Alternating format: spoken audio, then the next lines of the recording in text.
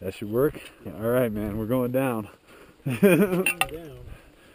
going down. Shooting down the chute. Bun Snowmass. Whoa. I mean, I would just probably hold on to the rocks Yeah. and just kind of lower your arms. Yeah. Find a couple good spots for your feet. That's kind of what I'm doing. Use your pole. And then that's about right right there. Then once you get down over here, you pretty much can just ski this stuff.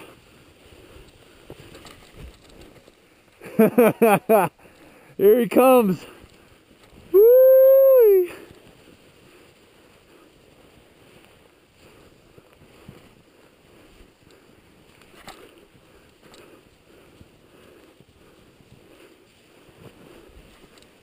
Epic.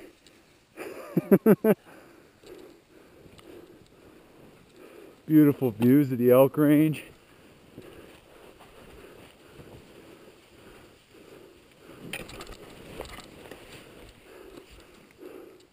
Start my own little avalanche.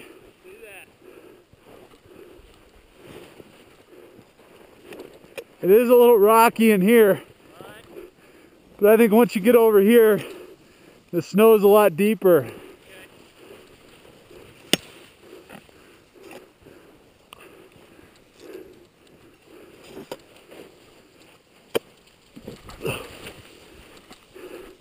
And then honestly, when you get down to about me, you'll probably be better off in your own trail Yeah, I think so. because the snow will stop you. It's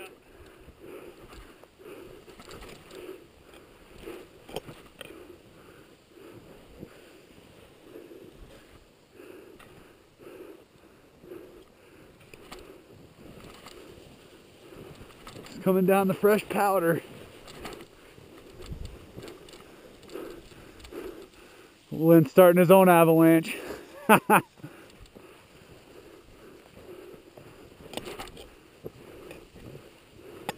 Coming down Snowmass. There you can see the Maroon Bells. Great views today. Beautiful sunny day in the mountains. Can't complain at all. To North Snowmass. That's where we came up and we camped at the lake down there. So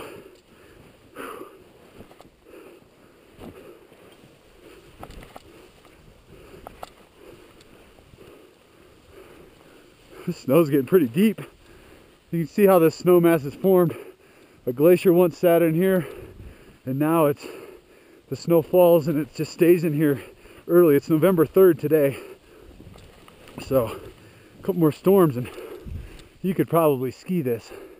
So it's pretty cool, huh? Yeah, a lot easier than going up. So pretty cool. That's it from up here in the Elk Range.